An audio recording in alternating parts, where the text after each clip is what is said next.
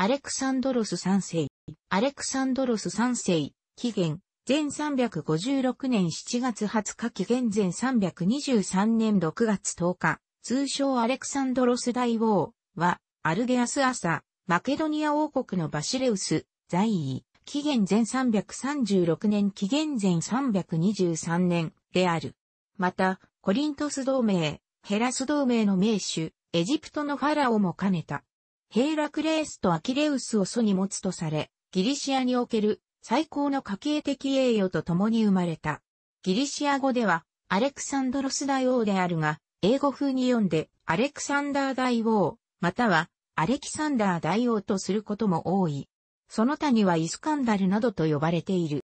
ハンニバル、ガイウス・ユリウス・カエサル、ナポレオンなどの著名な歴史上の人物たちから大英雄とみなされていた。旧約聖書やコーラン、ゾロアスター教、シャーナーメなど多様な民族の経典にも登場する。現代でもアレクサンドロスの名にちなんだ名前を付ける人は多い。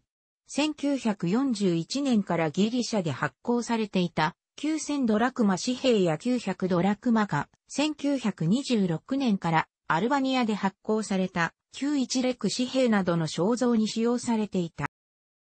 アレクサンドロス3世はピリッポス2世とエペーロス王女、オリュンキアスの間に生まれた。ピリッポス2世はヘイラクレースを祖とする家系で、オリュンピアスはアキレウスを祖とする家系であったら、ギリシア世界で最大の栄光を持つ、両英雄の血筋を引くと考えられ、家系的栄誉はギリシア随一であった。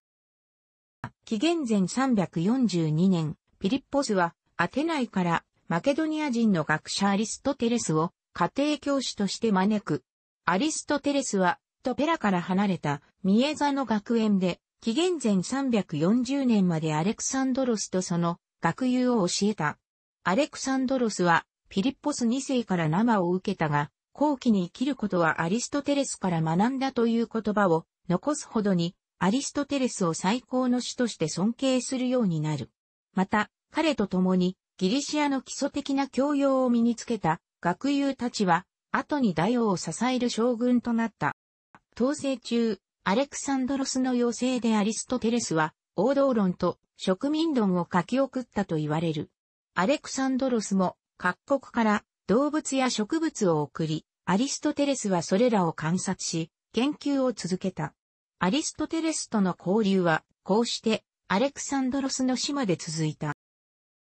紀元前338年、アレクサンドロスは一軍の将として、父に従ってギリシアの南部に出兵しカイロネイアの戦いで、アテナイテーバイ連合軍を破る。これが彼の偉人であったが、この時アレクサンドロスは精鋭の騎兵を率いて、アテナイテーバイ軍を回覧させ、マケドニアの勝利に大きく貢献した。父ピリッポス2世はこれによって、ギリシア諸ポリスにコリントス同盟、ヘラス同盟を締結させ全ギリシアの発見を握ると、続いて、ペルシアへの統制を計画したが、紀元前336年に、護衛のに暗殺された。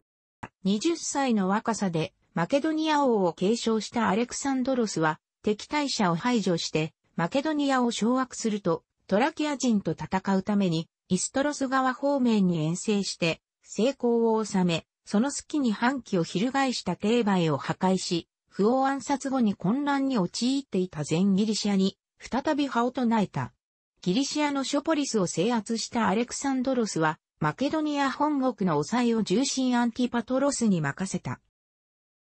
紀元前334年、父の意志を継いで、マケドニア軍を率いて、ペルシア統制に出発し、小アジアに渡ったマケドニア軍3万8000は、グラニコス川の戦いで、コアジア大衆の連合軍4万と対峙した。この時、派手な甲冑を身にまとったアレクサンドロスは、騎兵の先頭に立ち、自ら馬を買って突進すると、敵将をミトリダテスを投げやりで仕留めた。この印象的で鮮やかな勝利によって、アレクサンドロスは、味方将兵の信頼を得るとともに敵に対しては、計り知れない恐怖心を与えることになった。カリスマ性を帯びたアレクサンドロスに率いられる。マケドニア軍は、小アジアに駐屯するペルシア軍を蹴散らしながら、闘神を続けていく。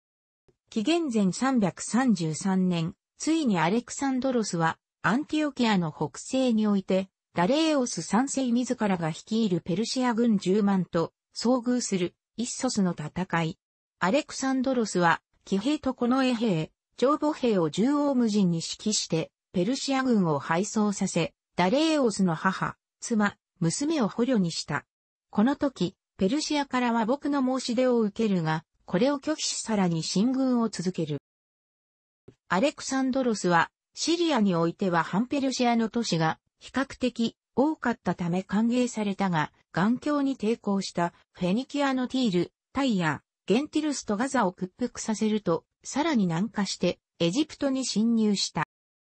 エジプトは11年前の紀元前343年にアルタクセルクセス3世によって征服されたばかりであり、ペルシアの統治が根付いていなかったために占領は容易であった。紀元前332年、エジプト人に解放者として迎え入れられたアレクサンドロスはファラオとして認められ、メリアムン・セテプエンラーというファラオ名を得て、アメン神殿にその像を祀られた。彼は少数の部隊を率いて、西部砂漠のシワオアシスにあるアメンの聖地に行き、ここで自らをアメンの子とする神託を得た。アメンはギリシア神話のゼウスと同一視されており、これはアレクサンドロス大王はゼウスの子であるという信託に等しかった。また、その後ナイルデルタの西端に都市を建設したが、これが現在のアレキサンドリアの起源である。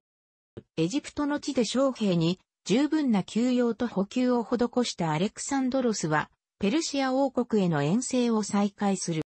紀元前331年、アレクサンドロス軍4万7千は、チグリス川上流のガウガメラで20万とも30万、とも言われた、ダレーオス三世式下のペルシア軍を破ったガウガメラの戦い。ダレーオスがカスピ海東岸に逃れると、ペルシャ王国はもはや風前の投下となった。ペルシャ王国の中枢に乱入したマケドニア軍は、バビロンやスーサの主要都市を略奪した。スーサからペルセポリスに向かう途中、ウクシオンという部族の居住する地位を通るときに、貢ぎ物を要求されたので、ウクシオンの戦いが生じ、これを破った。その後ペルシスモンの戦いでアリオバルザネスの伏兵を破ると、ペルセポリスに入場した。ペルセポリスでは、一般民衆に対しても凄惨な虐殺と誤感が繰り広げられた上徹底的に破壊して焼き払った。ペルセポリスの徹底した破壊は、ペルシア戦争時に、ペルシアがアテナイのアクロポリスを焼き払ったことへの復讐の意味もあった。ペルシアの中枢を占領した後も、アレクサンドロス軍はダレーオスを追って進軍を続けた。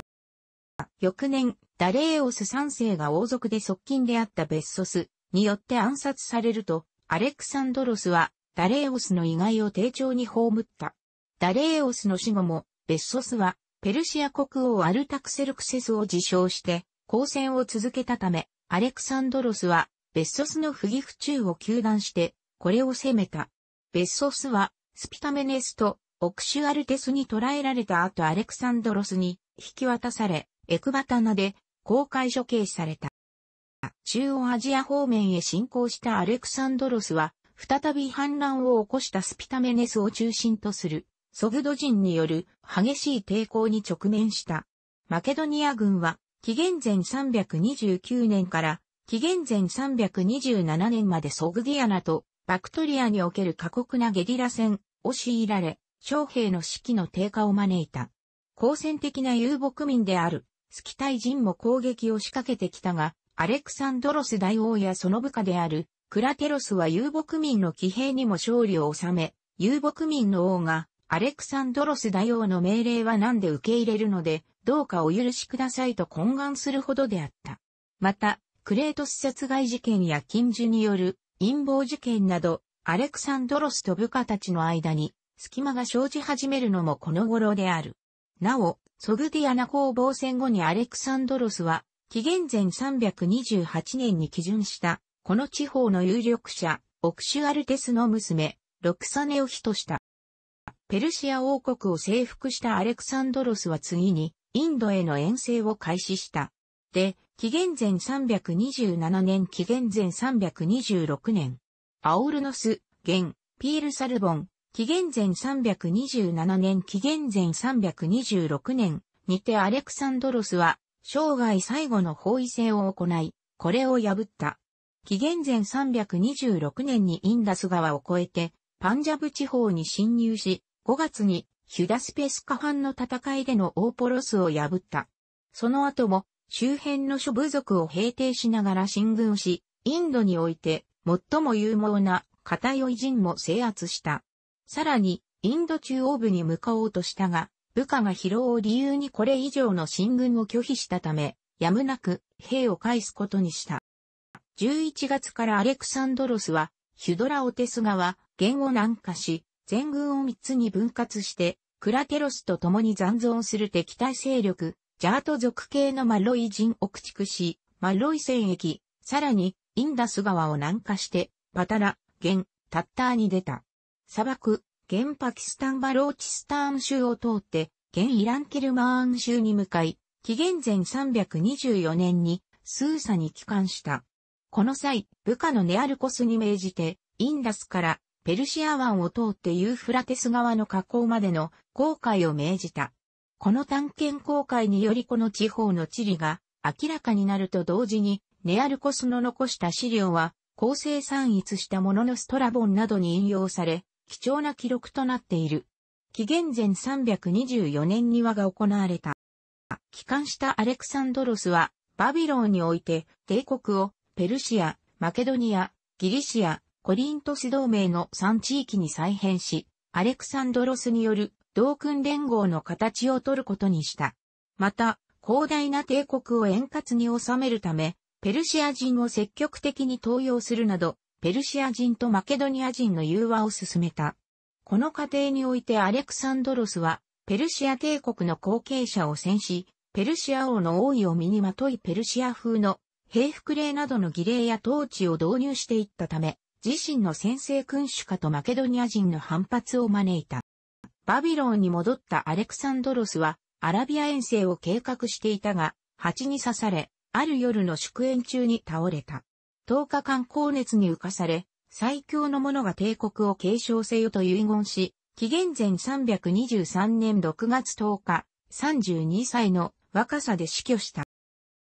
アレクサンドロスの死後、イボアニで、精神疾患のあったピリッポス3世と、アレクサンドロスの死後に生まれた息子アレクサンドロス4世が、共同統治者となったものの、後継の座をめぐって、配下の武将らの間で、ディアドコイ戦争が勃発した。ピリッポス3世は、紀元前317年に、アレクサンドロス4世は、紀元前309年に暗殺され、アレクサンドロスの帝国はディアドコイらにより分割、統治されることとなった、プトレマイオス朝、エジプト、セレウコス朝、シリア、アンティゴノス朝マケドニア。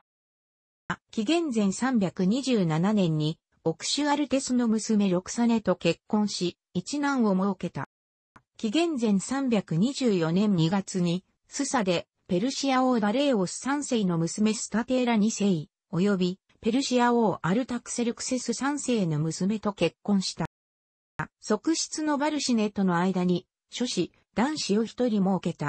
アレクサンドロスは、征服地にその名にちなんで、アレクサンドリアと名付けた都市を建設、軍の拠点として、現地支配の基礎に置いた。帝国の公用語に古代ギリシア語を採用した。さらに、ペルシャ文化への融合に心を配り、自らダレーオス3世の娘をめとりペルシア人と部下の集団結婚を奨励し、この集団結婚式において、マケドニア人の女とペルシア人の男が結婚する事例はなかった、ペルシア風霊式や行政制度を取り入れ大官に、現地有力者を任命した。ギリシア文化とオリエント文化が融合したヘレニズム文化は、アレクサンドロスの帝国とその後継王朝へ根付き、ラオコーン、ミロのヴィーナス、サモトラケのニケ、瀕死のガリア人などの彫刻が各地で制作された。エウクレーデス、アポロニオス、アルキメデス、エラトステネス、アリスタルコスらの学者も輩出。その後、古代ローマに強い影響を及ぼし、サーサーン・アサなどにも影響を与えた。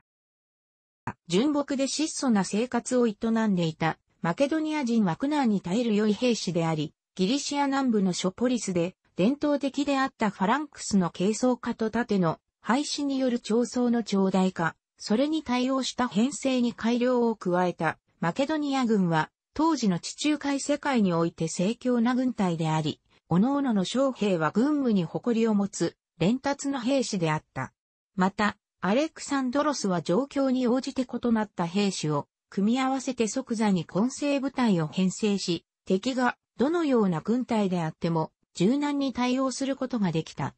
例えば、遊牧民スキ隊との戦いでは、敵のヒットアウェイ戦法に対し、投げやり騎兵と軽装不評の混成部隊を用いて、これを敗走させた。有能な戦術家でもあるアレクサンドロスに指揮されたマケドニア軍は、当時世界最強の軍隊であった。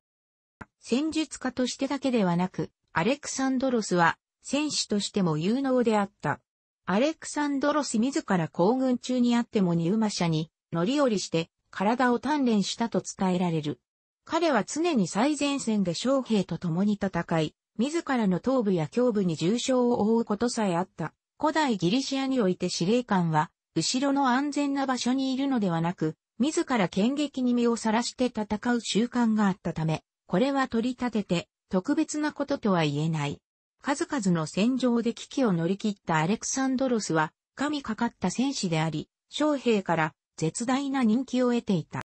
このようなマケドニア遠征軍に対しペルシア軍は大軍を動員したが、当時は利害が絡み合う各国傭兵による混成軍であったことから士気が低く、相互に連携した行動をとる修練も書いていた。このため、継戦能力が乏しく、配送を開始すると立て直しが困難であった。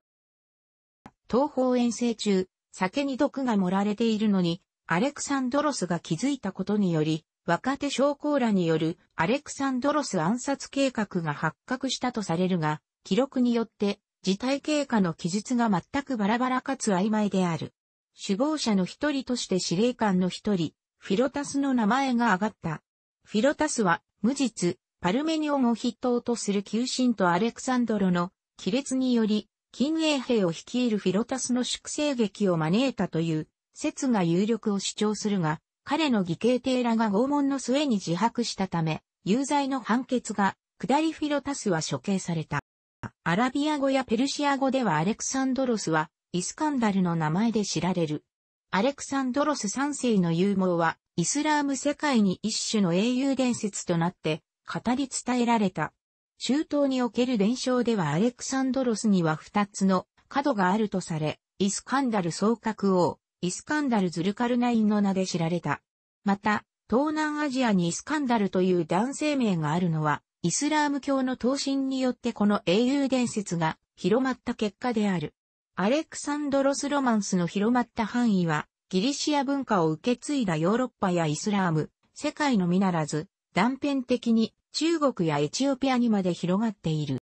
イスカンダル、エスコンドルは、古代マケドニア王国のアレクサンドロス大王を指す、アラビア語、ペルシア語の人名である。もともとはアリスキャンダーであったが、五島のアルマイナスが定冠詞と勘違いされ、あるエスコンドル、エスコンドルと呼ばれるようになった言語学では異分析という。ただし、現在でもアラビア語では定冠詞をつけてあるエスコンドルというのが普通である。K と S が入れ替わったお問い転換という理由は不明である。これらイスラーム世界でのイスカンダル像は、主に、偽、カリステネスのアレクサンドロス物語といった、アレクサンドリア発祥の空想端を起源とし、それに、アッバース朝時代の翻訳運動などで流入た、シリア、エジプトなどでのアレクサンドロス伝承などから、イラン世界におけるアレクサンドロス三世の支配を歴史的に整合性をつけようとしたものであった。文学では、フェルドースイーやニザーミーといった著名な作家たちが、陰文や散文によるイスカンダルのアマ、アレクサンドロスの書を表している。これらの作品では、イスカンダルとアリストテレスが理想的な君主と最小像として描かれている。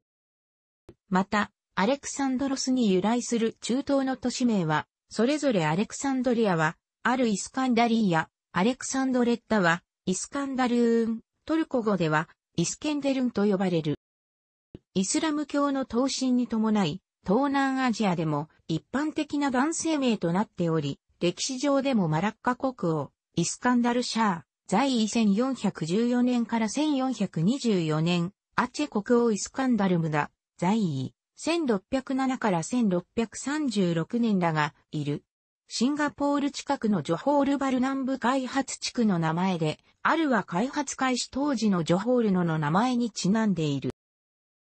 これらの同時代資料はすべて散逸している。バビロン天文日誌は、サマリー版の年度版が発掘されており、アレクサンドロスと思われる王の記録の記載が若干残っている。